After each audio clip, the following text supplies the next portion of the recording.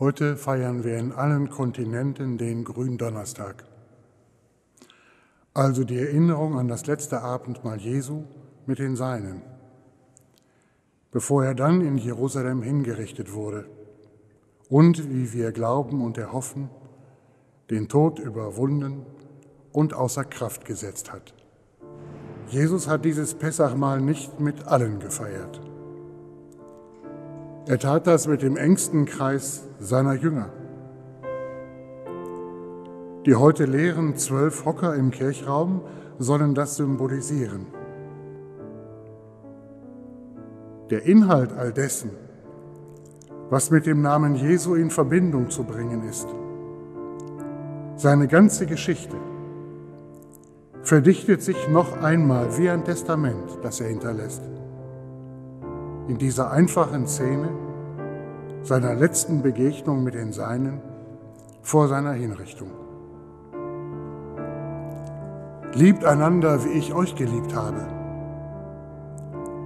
Niemand hat eine größere Liebe als der, der sein Leben hergibt für seine Freunde. Ihr seid meine Freunde, wenn auch ihr ins Leben setzt, was ich euch gesagt habe. Nur daran werden die Menschen erkennen, dass ihr meine Jünger seid, wenn ihr einander so liebt. In den letzten Tagen habe ich noch einmal ganz neu verstanden, was das heißt und was es bewirkt, wenn Menschen bewusst oder unbewusst diesen Dienst an den Menschen vollziehen,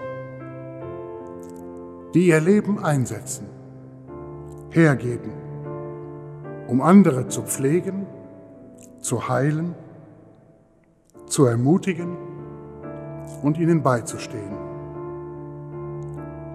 Viele haben in den letzten Tagen ihr Leben in den sehr konkreten Dienst der Menschen gestellt, auch an uns.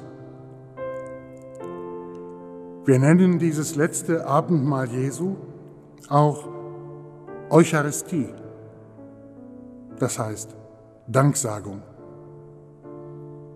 Den vielen, die sich in dieser Zeit in den Dienst am Menschen stellen und dabei oft bis an ihre Grenzen gehen, gilt heute, auch im Namen Jesu, auch unser besonderer Dank.